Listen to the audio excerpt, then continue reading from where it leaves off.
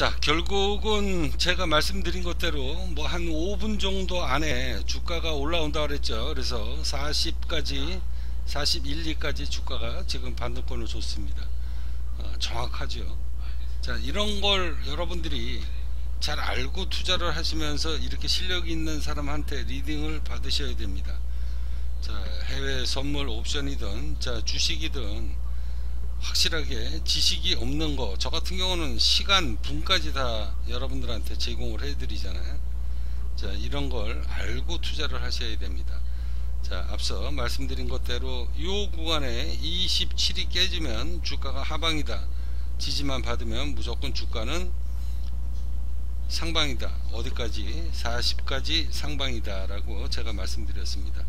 자 이제 지금 이제 42에서 지금 저항을 받고 주가가 지금 밀리는 구간이고요. 자 지금 구간에서는 매수로 대응하는 것보단 아직까지는 시간 타이밍이 한 10분 정도 어, 하방 압박을 어, 지속적으로 받을 수 있는 구간이기 때문에 올라가는 장이니까 조정이 오면 매수가 유리한 게 당연하죠. 자 매수로 대응해야 되는 게 원래 정석입니다. 자 그렇지만 초단타를 치시는 분은요 40 이 올라오면 이 구간에서는 아직까지는 매도가 유리한 구간입니다. 자 그래도 이게 깨지고 뭐 여기를 깨고 내려갈 것이다. 천만의 말씀입니다. 그래서 매도로 대응 들어간 사람들은 떨어지면 무조건 빨리빨리 수익 실현하고요.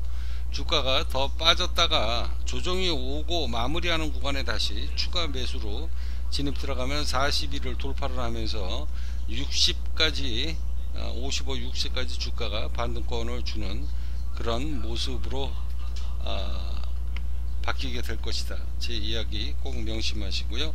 선물 옵션이라고 하는 것은 이렇게 정확한 시황 분석 그리고 예측을 하셔야 어, 돈을 벌 수 있습니다. 자, 큰 돈을 버시고 싶으신 분은 저를 찾아보십시오.